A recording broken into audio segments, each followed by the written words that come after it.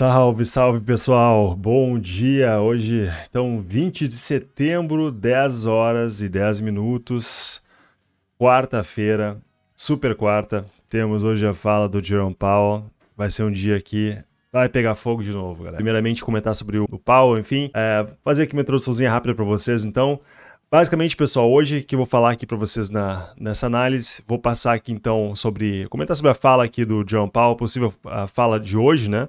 Também sobre a decisão da taxa de juros, vou comentar para vocês sobre isso.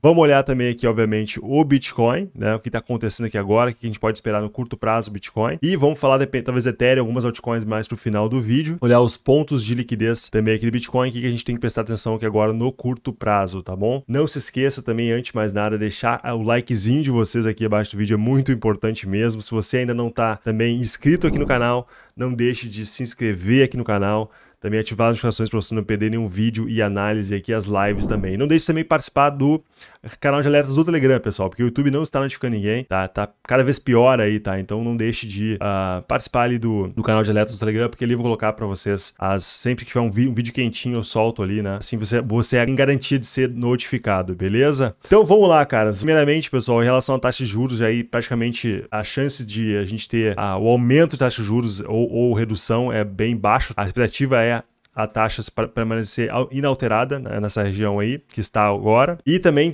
vai ser importante ver o que, que o, o Jerome Powell vai falar sobre as demais reuniões, né? As demais reuniões de no, novembro, né? É, dezembro, janeiro, e o que, que ele vai, o que, que, ele, que ele espera, né? Uh, em relação a isso. Mas a minha previsão, pessoal, que eu imagino que vai falar, que vai ser uma, uma fala dura, uh, focando, falando que não vai haver redução de taxa de juros por um bom tempo. Eu acho que ele vai de novo bater nessa tecla aí. Esse é o, esse é o ponto uh, principal né, eu vejo. É, um fator aí que a gente teve também, que é importante prestar atenção, que é a questão do petróleo, né? O petróleo subiu muito de preço aí, devido até à redução lá da China e Rússia, se não me engano, a redução na produção do petróleo, enfim, gerou realmente um, um aumento de preço gr grande aí. Isso vai impactar, obviamente, a inflação de forma atrasada, né? Um lag na inflação. Então, acho que isso é outro fator que é importante Uh, por isso que é importante o Banco Central Americano manter essas taxas de juros um pouco mais altas por mais tempo aí também. Esse, pode ser que ele comente alguma coisa assim, talvez tenha uma pergunta nesse sentido. Eu espero que sim, porque eu estou interessado nesse assunto aí, tá? Realmente me preocupa ter esgotado suas reservas de petróleo. Né? Isso é um fator que realmente uh, não acho muito confortável aí para os Estados Unidos, tá? Então isso pode gerar mais pressão aí na Banco Central Americano. E eu não sei até quando isso vai durar, tá, pessoal? Porque, a meu ver, a gente está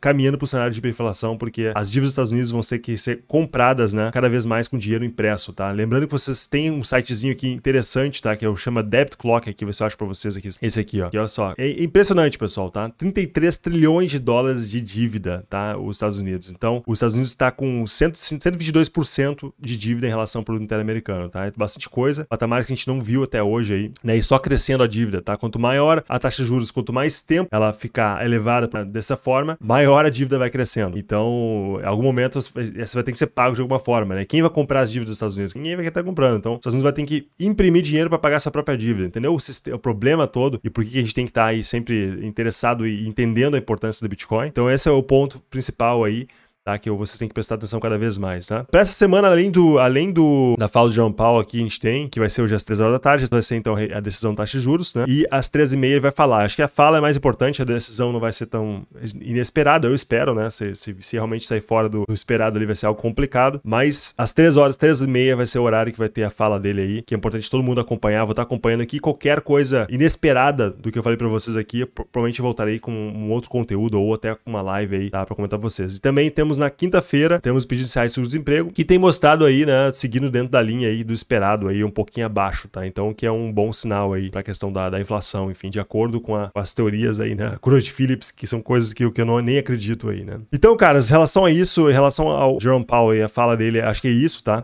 A gente pode dar uma olhadinha, talvez, na SP500 DXY rapidamente aqui. Por DXY, pessoal, minha expectativa aqui, honestamente, com vocês, ele tentar aqui, pelo menos, retestar essas zonas aqui. Obviamente vai ter correções, tá, de curto prazo. Eu acho que é bem possível, ainda mais com, talvez, a, a zona do euro aumentando taxas de juros, né, e o Banco Central americano mantendo elas no patamar que está, a gente pode ter potencialmente no curto prazo que agora tem uma correção do DXY, mas a minha expectativa é ver o DXY voltar a testar essa zona de 68 aqui, desse topinho até o fundo, essa região de 68 aqui, tá, pessoal? Então, talvez nessa possível correção de curto prazo aqui, a gente pode ter um espaço maior para SP500 dar uma subida, também Bitcoin, tá? Isso que eu estou esperando aqui agora, mas uh, eu vejo que o DXY pode voltar a testar aqui ainda, pior fase aqui, talvez uh, testar essa zona aqui de, de 68, tá? Então, o que eu tô de olho aqui agora, essas zonas de Fibonacci por DXY, é importante acompanhar. A SP500, caras, que eu digo para vocês é o seguinte, estamos na tendência de alta aqui agora nesse momento. Não me surpreenderia a SP500 romper o topo anterior, tá? Só lembrando, é importante vocês lembrarem que no mensal a gente tem, teria uma possível divergência, uma baita de uma divergência aqui, bearish no mensal, caso a gente faça um rompimento aqui nesse, desse topo, tá? Então, estou de olho nessa divergência aqui. É muito importante vocês acompanharem esse tipo de mercado aqui para DXY, para SP500. No RSI, realmente as divergências são bem, são bem fortes, tá, pessoal? Caso do SP500 acabar rompendo isso aqui, acho que ela não vai muito longe, não. Esse movimento aqui está com muito menos força, tá, pessoal? Não é um movimento que me parece e é muito sustentável essa subida da SP500 aqui. A gente pode ter aqui né, pequenas correções ainda, como já tivemos, mas a meu ver aqui a gente ainda tem grande chance de testar o topo anterior, porque a gente rompeu essa zona de 68 aqui, tá? Então, topo fundo, a zona de 68 foi rompida e nem chegamos a testar ela aqui, né? Então, teve um, correções, mas uh, já foram basicamente terminadas aqui, né? Então, grande chance as pequenas voltar a testar o topo anterior, né? Essa é a minha visão aqui agora, só que essa divergência no RSI aqui no mensal, tá? Eu acho que é bem importante vocês prestarem atenção. Então, em relação a, a SP500, em relação a, a DXY que eu tenho para vocês, é basicamente isso, tá, caras? Se ficou alguma dúvida, vocês podem comentar aqui abaixo do vídeo também. Então, vamos de fato aqui agora, então, dar uma olhada no Bitcoin. O que, que eu tenho para vocês aqui? Primeiro, só comentar, tô com alguns indicadores novos que eu tô aqui adaptando. Primeiro aqui o Open Interest, eu estou usando aqui né, o Open Interest do Leviathan, tá? Então, primeiro aqui é o Open Interest uh, Switch by Leviathan, porque ele pega o agregado aqui, tá, pessoal? Então, é realmente muito bom. Você pode utilizar aqui o agregado do Open Interest, diversas corretoras aqui. Tem da Binance em várias uh, pares aqui, o USD, o BUSD, o STT, e também tem BitMEX e Kraken, tá? Então, quanto mais, ao meu ver, é melhor para a gente poder ter uma noção um pouquinho melhor do como está ali realmente tendo muita, muitos contratos sendo abertos ou fechados. Para mim, isso é muito importante acompanhar, tá? Então, o Pinterest é o primeiro indicador. Outro indicador que eu tô usando aqui é o Market Bubbles aqui, by Leviathan, porque aqui eu posso avaliar se tem muita compra ou venda mercado no topo, tá? Então, assim, muita venda mercado no fundo, potencialmente esse fundo vai ser um fundo importante, vai ser um suporte. Esse aqui, o, Market Order Bubbles, você pode identificar, então, no fundo, muita venda mercado, no topo se tem muita compra mercado, tá? Então, você identifica em diversos uh, tempos gráficos aqui, ele vai pintando as bolinhas aqui, ó, no caso, tá? identificando zonas de potencial reversão do preço. A gente pode ver que essa região aqui a gente teve muita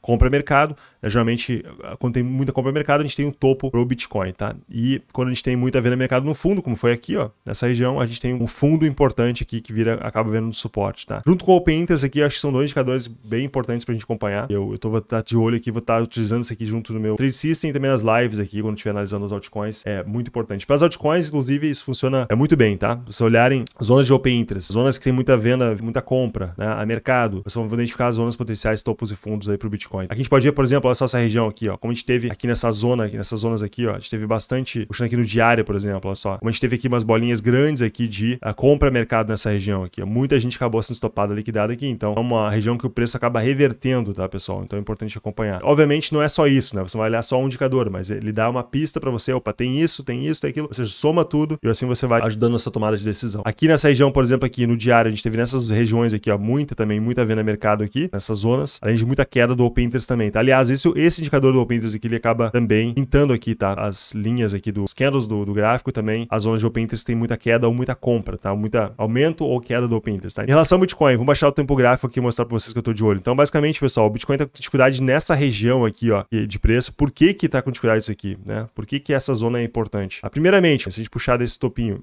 né? Desse topinho fundo aqui, a gente vai ver que tá numa região próxima aqui de... acima de 68, na verdade, né? Nessas regiões Fibonacci. Até, até achei que tá na 68 aqui agora. Mas para mim, a região que eu tô acompanhando aqui realmente é o CPR mensal, que é esse indicador aqui, ó. Exatamente nas zonas do CPR mensal. O Bitcoin não conseguindo formar candles importantes acima, pessoal. Olha como o CPR mensal é um indicador importante vocês acompanharem. É um indicador que traders profissionais estão sempre utilizando esse indicador. Então importante que vocês acompanhem ele sempre aí, tá? Zona de suporte e resistência. Por isso eu comentei que a zona de 23.600 eu tô muito de olho para fazer compra pro Bitcoin. Porque olha só, a gente tem aqui o S1 do CPR mensal exatamente na região dos 23.600 dólares, onde tem um ponto de liquidez também para o Bitcoin. Então ali para mim essa região aqui vai ser uma zona que eu vou estar comprando no spot Bitcoin, já tô com minhas ordens lá preparadas caso o Bitcoin venha aqui buscar essa região. Então é uma zona de suporte agora, aqui está sendo uma certa resistência, tá? Aqui vai ter outra resistência obviamente nessa região dos 29.300, também a gente tem volume aqui ó de negociação nessa zona, além, de, além de, do E1 do CPR mensal, mas primeiro passo do Bitcoin é conseguir ficar aqui acima dos pivôs eh, centrais aqui na minha opinião, tá? Então, para mim, vai, vamos ter suporte Bitcoin, pelo menos que essa região dos 26, aqui agora 26.400 tem, mas eu tô de olho mais nessa região aqui para poder tentar fazer compras no Bitcoin nessa zona próxima dos 26.100, 26 26 mil dólares, devido ao volume e open interest aí também do Bitcoin, que a gente pode dar uma olhadinha daqui a pouquinho, tá? Vamos ver a liquidez, caras, porque isso pode atrair o preço aqui agora, tá? Primeiro, só baixando o tempo gráfico vocês aqui, acho que é importante vocês acompanharem. A gente pode ver que essas duas zoninhas aqui formou, formou aqui zonas de open interest forte aqui agora, né? Esses dois candles, dois candles de zonas de open interest que o Bitcoin não perdeu, tá? Então, por enquanto aqui, enquanto não perder essa zona aqui dos 26.700 por aqui, pessoal, está safe aqui, tá? Em termos da, das zonas de open interest. Só que, obviamente, no curto prazo, aqui a gente teve as, as regiões que vai ser uma resistênciazinha aqui, tá? Essa aqui é a resistênciazinha atual do Bitcoin. É bem onde está o CPR mensal ali, os pivôs, né? Então, se a gente baixar o tempo gráfico, vocês vão ver que uh, essa zona aqui que formou uma zona de open interest virou uma resistência que agora a gente tem que conseguir romper isso aqui para cima. Rompendo isso aqui para cima, eu acho que o Bitcoin tem grande chance de buscar a casa ali próximo dos 28.500 dólares que a gente tem liquidez aqui olhando de um mês, tá bom? Uh, mais importantíssimo agora é o Bitcoin não perder essas regiões aqui, ó, dos 25.600, tá? Eu não tô aqui agora comprado, infelizmente, no Bitcoin, tá? Sendo bem honesto com vocês mas estou de olho aqui para me expor nas regiões abaixo dos 26 aqui, 26 e 100, e aqui onde tem liquidez eu vou mostrar para vocês, tá bom? Então vamos dar uma olhada aqui na liquidez, pessoal, só um recadinho importante para vocês aqui agora, esse conteúdo de hoje aqui, tá? Tem o apoio aqui da corretora PrimeXBT, tá? Tá apoiando de novo aqui meu canal, é, para fazer cada vez mais conteúdos também, Uh, e vou mostrar algo bem interessante para vocês aqui na, na PrimeSBT. É uma corretora super fácil, crie sua conta aí também, vai ter, vai ter também sorteio de, de margem, vou mostrar para vocês essa semana. Tá? Você pode usar aplicativo, tem taxas muito baratas. Você pode operar criptomoedas, índices, forex, commodities, tá? muito interessante. Pode operar SP500, ouro, é, e tem um bônus de 7% de depósito, tá? Eu vou deixar vocês o link aqui abaixo na descrição e comentário fixado desse vídeo para você criar essa conta. E o que é mais legal aqui do PrimeSBT, que o pessoal estava até um pouquinho reclamando aí, né? Eles criaram uma plataforma aqui de, de futuros aqui agora, tá? Então, você pode aqui, além de operar os, os mercados globais, você pode também operar aqui uh, uh, Crypto Futures, tá? Então, usando essa margem em USDT ou usando essa margem em Bitcoin, tá? Então você pode operar, por exemplo, SP500, ouro, petróleo, usando essa margem USDT ou Bitcoin, né? E também futuros diretamente, como, como você opera hoje na Bybit, nas outras corretoras, você pode utilizar também aqui tá? na, na PrimeSBT. Tá? Então, bem bacana essa funcionalidade deles aqui, é algo que eu estava esperando realmente, tá? porque para a minha forma de operar é como eu gosto de fazer, tá bom?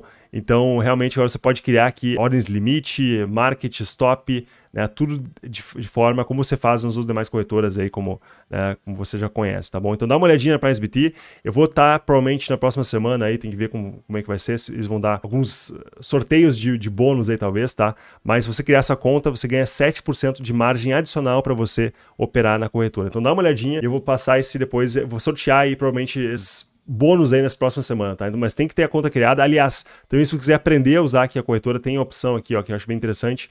Eles têm aqui uh, aqui, né? São batalhas de trade que você ganha uma margem, né? É paper trading, né? Você vai ganhar aqui mil dólares para você poder operar tá? participando dessas, dessas batalhas semanais aqui, tá bom? Então vai lá na PrimeSBT, tenta aqui em, em lá em cima e seleciona aqui Join na, nessa região, tá? E daí você vai poder participar aqui e, e testar a corretora, ver se você consegue é, se adaptar, se você gosta, tá? Sem arriscar o seu dinheiro, tá bom? Então isso é muito bacana, beleza? Então, dado recado aqui, pessoal, vamos lá, ver então a questão da liquidez. Sete dias, pessoal. A gente não tem muita liquidez acima aqui, tá? É, mais aqui abaixo dessa região próxima dos 26.150, porque e por isso essa é a zona que eu estou interessado de fato a fazer, a buscar a operação de long na Bitcoin, que devido a essa liquidez nos 7 dias. Esse é o motivo. E também é a zona que também tem grande acréscimo de open interest ali, tá? Então tem uma liquidezinha pequena aqui em cima, tá, pessoal? Mas, uh, enfim, eu não estou aqui buscando, tentando fazer long nessa região, vou tentar comprar aqui nessa zona aqui, tá? Mas olhando de um mês, que é importante frisar aqui, olha só, a zona aqui, o Bitcoin, tem liquidez aqui de um mês, é essa região próxima dos 28.300 dólares, até essa região aqui próxima dos 28.500, tá, pessoal? Então, o Bitcoin poderia ainda fazer uma pernadinha aqui, aqui nessa região, tá? Nessa zona. Então, assim, se você quiser arriscar, né, um trade aqui, fazer uma compra, o stop abaixo dos 26 mil dólares, né? Pra ver se ele pega essa região, pode ser interessante também, tá? Mas eu, eu prefiro ser um pouco mais conservador nessa zona, de, nessa região de lateralização, tá bom? Ah, olhando aqui de, de, um mês, onde tem mais liquidez nesse momento, é essa zona aqui próxima dos 28.300, 28.500, botamos assim, tá? E é uma zona que com certeza vai ter resistência pro preço, tá bom? Acho que o primeiro teste ali pode ser potencialmente a gente não conseguirá romper isso aí. Então, é uma zona que você pode tentar avaliar de realizar né, compras que você fez mais abaixo do Bitcoin, né, que você deveria estar fazendo, né, conforme eu tenho falado para vocês. E, ou então, aqui, dependendo dos indicadores, é uma zona que pode até avaliar de fazer um pequeno shortzinho aí, com stop curto, tá? Se o Bitcoin romper a zona dos 29 mil dólares aqui, pessoal, o preço não vai ter, não vai ter como segurar o preço, tá? Porque esses são os fundos anteriores aqui, ó. A gente pode pegar essas regiões aqui, ó. Se o Bitcoin começar a romper essa zona aqui dos 20, ó, 29 mil dólares para cima, tá? Eu acho que não vai ter o que segurar o preço, tá bom? Talvez o primeiro reteste que a gente pode ter nessas zonas 28.500, que é inclusive é, é a zona que tem liquidez aqui, ó, desse último topinho, né? É, a gente pode ter dificuldade aqui pro Bitcoin fazer esse rompimento, né? E, e voltar para esse preço aqui, né? Para essa lateralização, tá bom? Eu acredito que o primeiro teste dos 28.500, possivelmente o Bitcoin não vai conseguir romper tá? Mas é importante acompanhar os indicadores como vão, como tá, Open Interest, etc. Se, eu, se a gente bater aqui com queda do Open Interest, né? E muita compra mercado, muita. Eu acredito que a gente vai ficar um pouquinho nesse, dentro desse range aqui, tá, pessoal? Já estamos um mês aqui nessa lateralização do Bitcoin, tá? É possível a gente ficar mais um mês aqui ainda nessa chatice dessa atualização. Tá? Então, para mim, aqui nessa região dos 28.500, vou estar, tá, né,